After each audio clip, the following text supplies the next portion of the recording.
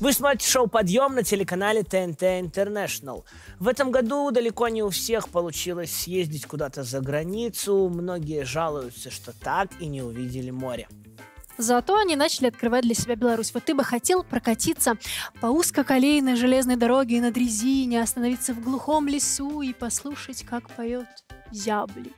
М? Заманчивое предложение, а более подробно о дрезинах и зябликах нам расскажет наш сегодняшний гость Артем Слизкий, организатор экскурсий по узкоколейным дорогам, а также по промышленным предприятиям. Артем Слизкий окончил БНТУ, проектировал третью линию Минского метро и даже сам работал на ее строительстве, но с детства любит узкоколейные железные дороги, поэтому сначала создал клуб по интересам, а потом стал водить экскурсии. Мечтает создать музей белорусских узкоколеек. Артем, привет! Привет. Доброе утро, как добрался? Э, Поднять подняли, разбудить забыли. Мгм, то есть Ну- не взбодрился еще. Ну ничего, сейчас мы это Сейчас исправим. мы тебя разморозим. Смотри, об экскурсиях мы поговорим чуть попозже. А Расскажи, пожалуйста, о своей основной работе. Мы знаем, что ты проектировал линию Минского метро. Э, Продолжаю это делать. Да, все правильно. Экскурсия — это хобби такое для души. Вот. Но основное — инженер, проектировщик, горный инженер. Вот. Так что третья линия — это чуть-чуть и моя работа тоже. Слушай, сильно прям. Третья линия, вот, которая последняя, да? Да, и проектировал, и сам ее строил годик. Ты спускался там в туннель, все своими. Да? Вот этими рушишами. Ну, наверное, круто, пока вот это все не запустилось, вот так погулять, там полазить. Это, ну, А это, там тоже наверно, можно экскурсии проводить или нет? Нет, метро — режимный объект все-таки, Мгм. поэтому вряд ли в ближайшее время туда пустят. Ладно, давай тогда к твоему хобби. Что вообще такое узкоколейка? Узкоколейка. Железная дорога шириной колеи э, меньше стандартной. Это если официально, ну, визуально. Ширина колеи большой железной дороги полтора метра, Так, а узкоколейка это в два раза лучше. И что по ней 75 ездят? сантиметров. Ездят по ней тоже поезда, маленькие то есть нужно поезда, да, в том числе и пассажирские. детская железная дорога? Да, детская железная дорога это, в принципе, такой самый Это, наглядный это и пример. есть узкоколейка. Да, То есть ее так да, и можно да, да. называть. Да. Хорошо, ну а еще что, что по ней ездит? Ну, сегодня по ней ездит только торф. В основном иногда мои туристы. Э, Это такая, скажем, технологический транспорт. Промышленный технологический транспорт, который обеспечит вот технологический процесс вот этих вот заводов, которые находятся. Вот. Поэтому это такой промышленный туризм с элементами экологического туризма. Ну, А много вообще в Беларуси таких у нас узкоколейных ну, дорог? лет пять назад э, Беларусь называли, есть такое слово, ферроэквинолог. Ферроэквинолог. Мгм. любители, которые изучают железные дороги, да. Вот. И вот эти вот ребята называли Беларусь самой узкоколейной страной Европы, что у нас их там было около их 30 штук на отдельно взятое государство. Но сейчас они потихоньку закрываются, разбираются, и поэтому уже мы Ну, потихоньку осталось. начинаем. Ну, штук 25 еще есть. На чем ты возишь своих туристов? То есть прям вот в вагоне с углем, там, торфом? Не, ну не пожалейте Ну, туристов, экстрима. зачем их в Не, ну, уголь подожди, ну. Э, э, Вдвоем хотят на, на- на- экстрима. на дрезине просто. Не, вот Да этим ну я тоже не занимаюсь. не Меня резина все-таки завел, газ в пол и поехал. И погнали, да? Так вот, да, э, два варианта. Это поездки такие для сборных туристических групп на поездах пассажирских вагонах. У тебя есть свои поезда? Нет, я их арендую. Я арендую там у, у тех, у кого они есть. Да, но у самого у меня есть э, две дрезины, мотодрезины, на которые, в принципе, там пять человек, группку такую можно посадить и Где вот покататься. Хм. Купыв. Аж так можно, да? А Они... э, Где уже продают? нет. В магазине? Э, А уже нигде. У меня последняя в Беларуси. Их больше уже нет. Они в 70-х годах выпускались, и Зажиточные. до наших дней дожили две. А какую скорость мотодрезина развивает вообще? Э, По паспорту 50 км в час. Э, В народе их называют еще бешеная табуретка. А ты ее до скольки разгонял? 26. Но, скажем так, не везде, не на всех узкоколейках можно ее физически достигнуть, потому что все-таки это не магистраль э, Брест-Москва, это такая уставшая дорога, да, где так, аккуратно, аккуратно, аккуратно. Ладно, в чем прикол? Вот ехать какую-то глушь, трястись на этой дрезине, что именно туристам нравится? Что их туда тянет? Ехать в глушь, трястись на дрезине. Ну, от городской суеты я бы вот с удовольствием бы прокатился на такой Я знаю, штуке. А она открытая, да? Да. да, да. На чем интереснее, как бы, на поезде, либо на дрезине? Мне кажется, на дрезине. Ну, это круче. Это, это все-таки более захватывающее, конечно, такое мероприятие. Мгм. Ну и на Да. поезде ты катался на дрезине, уверена? Нет? Нет, конечно. Вот Да. уже. Мало кто из вот этих 9 миллионов 600 человек, проживающих здесь, катался у нас на дрезине, да. Вот. э, Ну, это совершенно такие разные мероприятия, скажем, потому что э, на поезде это поездки для групп, э, такая, скажем, более познавательная тур, э, потому что пока мы едем на эту узкоколейку в автобусе, я там с историей знакомлю, там э, эти архивные различные ролики, ну, люди узнают, что такое узкоколейки. Как я называю, я, я дарю людям узкоколейки. Мы снова в студии шоу «Подъем» на телеканале ТНТ International. И у нас сегодня в гостях организатор экскурсий по узкоколейным железным дорогам Артем Слизкий. Смотри, Артем, а расскажи, пожалуйста, зачастую, куда людей возишь на экскурсии, как это далеко от Минска, да, что за маршруты? Ну как, стараюсь максимально, конечно, географию Беларуси осваивать в этом плане, но, как я говорил, не на всех предприятиях есть пассажирские вагоны, то есть не везде физически есть на чем покатать. А так, в принципе, Витебская, Брестская, Минская области освоены уже. Вот, э, Гродненская тоже освоена. Э, Около пяти маршрутов есть. Э, Основная идея как бы это не просто покатушки по узкоколейке, это все-таки познавательный какой-то туризм, поэтому совмещаем тоже с посещением каких-нибудь других интересных мест. Есть маршрут под Лиду, на узкоколейке покатались, потом экскурсия на пивзавод, жизнь удалась. Вот, либо там и Ивацевичи, плюс там посещение там музея железнодорожной техники. Ре- семьи с детьми просто на ура, там детвора там и по узкоколейке покататься, и потом про паровозы эти узнать. Вот. Из последнего, что в этом году сделали новый маршрут, э, Старобин за Солигорском, и плюс э, Микошевич и Гранитный карьер. Слушай, мы Да. знаем, что ты хочешь создать, мечта у тебя такая создать музей узкоколеек. Как ты вообще себе его представляешь, как ты это видишь? Суть какая? У нас э, как-то нет такой культуры э, сохранения какой-то старой техники. Вот. э, если немножко истории. Самая первая в мире узкоколейка была, появилась в Англии в 1836 году. В 1850-х годах э, там появились первые паровозы, и вот до сих пор у них в музее есть вот этот тот самый первый паровоз, которому уже там 170 лет. Ну, у себя ты в музее хочешь, чтобы он просто стоял там или Не, на ну нем так я и ка- рассказываю. как бы. катались? А у нас получается э, старую технику в принципе не сохраняют, поэтому, во-первых, надо место какое-то, где бы хотя бы это можно было бы сохранить от э, этой от сдачи в металлолом. А второе, это место, куда, да, разумеется, кататься. Ну и, и другая идея, чтобы каждый, кто, кому интересно, там, мог в этом поучаствовать. Там, в этой в реставрации, там, в каком-то там содержании пути, там, условно, там, э, положили там, на эту дрезину пару шпал, взяли инструменты и поехали в закат, там, поучаствовать, там, что-то минимально поделать э, своими руками. Вот, чтобы это не просто какая-то там статичная нафталиновая там экспозиция была, чтобы это максимально э, Ну, то есть максимальное вовлечение, Да, и да, мне да, кажется, да, что да, это да. все равно будет полезно.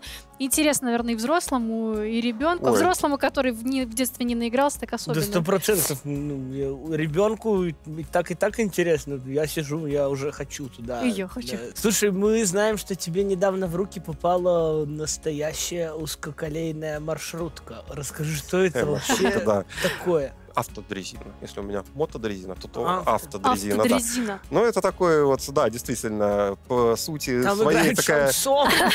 Человек с сигаретой в кепке. Такой, передаем! В принципе, да, самое смешное, хоть она на рельсовом ходу, но в ней был руль. А, Вот. Да, руль там есть, только он выполнял функцию тормоза. Вот, это А такое там было... у вас остальных нет руля? Да там же вообще Нет, стрелку перевели. тормоз. Там стрелку перевели, оно само едет. Ты ж никак Ладно, не ну поуправляешь, держаться да? там за что-нибудь хоть, хоть как-нибудь. Поэтому что-то. там был руль, чтобы держаться. Ладно.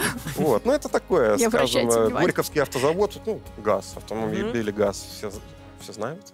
Да, в 50-х годах там начали выпуск, э, ну, правильно сказали, маршрутка, там 10 пассажирских мест. Вот, Так, э, нашли мы вот этот вот кузов от нее, работаем над восстановлением, да, нам завод-изготовитель даже скинул вот эти вот э, чертежи 50-х годов, по Даже которым когда так? ну, да, там сказали, о, в Беларуси, там, типа, «Н- не забывайте нас, ну, хорошо, для благого дела, пожалуйста. Я думаю, что они только счастливы были вам помочь. То есть вы сами, да, все это делаете? Это такая еще... Пока спас- спасли от металлолома уже хорошо. Это уже Да, победа. сейчас такой. Для всего нужно там, интересный да, деньги, конечно, там, с России привезти ту же самую ходовую часть, потому что сейчас в Беларуси ее не найдешь банально. Вот. Ну, сложностей много. Поэтому, если кто хочет в команду, пожалуйста. Мы вернулись в студию шоу «Подъем» на телеканале ТНТ International. И у нас сегодня в гостях организатор экскурсий по узкоколейкам Артем Слизкий. Артем, мы для всех наших гостей готовим небольшие задания, интерактивы и так далее. Для тебя тоже подготовили игру, которая называется «Что за поезд?». Правила достаточно простые. Э, Сейчас мы будем смотреть картинки, там будут какие-то поезда. Ты должен угадать, откуда они. Из какого-то там фильма, мультика или так далее. А, напугал, а то сказал, что за поезд, я в них не разбираюсь. Не, ну фильмы... Марку называть не ты обязательно. Да. Если что, будем помогать, наводить. Готов? Конечно. Поехали. Э, Наверное, Гарри Поттер. И все. Первый Чётенько. ответ есть. Отлично. О, Как он? Паровозик из ромашек. Да. Надо Есть. же вспомнить Два. как правильно называется. Я вот просто название-то не знал, например, что он так называется. Очень люблю этот мультфильм. Дальше. Так, Может быть, что? по Агате Кристи что-нибудь, не знаю. Восточный экспресс. Да, ну, Ну, почти, ну, восточный. Полярный. Нет, все верно, Нет. только более полное. Ну, блин, можно Убийство защиту. в Восточном Да, браво! Отлично. Три правильных ответа есть. Спец по поездам. М-м-м. Крокодил Гена. Голубой вагон, ну все. Это крокодил-то Ну, Гена ну, это чебурашка, называется. крокодил Гена. Голубой вагон. Все Прекрасно. нормально. Дальше. Интересненько. Что это может быть? Что это? Что Такой какой-нибудь Спорт Лото 86 или как он? 82. 82. Все. Вообще безошибочно. Хорошо идешь. Дальше. Знаешь, Так, что квартет это за И, фильм? вижу, да. Так. Ну, может быть, вторые, о чем говорят мужчины. Ну, есть тоже можно Ну да, засчитывать, о чем говорят мужчины. А, из всего этого просто я смотрел только Чебурашку, поэтому... А, Прибытие поезда братьев Люмьер. И вообще без ошибок великолепно ты проходишь это испытание. Я бы, наверное, половину не угадала. Ну вот поезд из Ромашкова, Чебурашка А я вот поезд и... из Ромашкова и вот э, про братьев Люмьер. Вот эту картинку я знаю, но я бы не назвал. Ну, в любом случае, браво. А можно еще сказать этот, а человек с бульвара Капуцинов, там тоже эти кадры были. Когда А. они прострелили потом э, экран Да, да, да, да, да. Вернулись в студию шоу «Подъем» на телеканале ТНТ Интернешнл и продолжаем общаться с организатором экскурсии по узкоколейкам Артемом Слизким. Артем, мы знаем, что ты водишь экскурсии не только по узкоколейкам, но и по промышленным предприятиям. Расскажи, что там можно интересного понаблюдать.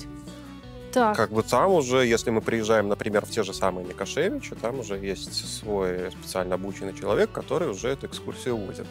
Вот. э, Ну, это совершенно получается. В принципе, могут быть разные предприятия, начиная... действующие или заброшенные? Нет, это что? действующие. Ну, Микошевич и гранитный карьер. Там самый большой и глубокий в Европе. Это, ну, Стоишь ты такой на борте, на борту этого карьера, смотришь вниз, там где такие белазики, там как мурашки копаются внизу. Там тоже не каждый день, скажем, увидишь. Это круто. Вот, ну, Здорово, я бы либо другие производства. Ну, это такой познавательный туризм. А есть вообще такая услуга, там, не знаю, может, были запросы такие, вот, чисто, говорит, мы хотим фотосессию на узкоколейке, а кататься не будем. Сходите ко мне на сайтик. Э, Вот романтическое предложение обустраивали фотосессию свадебную на с дрезиной на узкоколейке. Э, Вот. Ребята отработали Мысль просто прекрасно. Там такие замечательные фотографии. Вот. Так что я говорю, узкоколейки это романтика. Корпоративы А, там ц- проводятся на этих в- Да, мо- можно. Мы организ- визиточку оставлю потом, если что, обращайтесь. Хорошо. Не, у нас был такой вот в этом году мероприятие интересное. Вынашивал три года Масленицу мы делали на узкоколейке.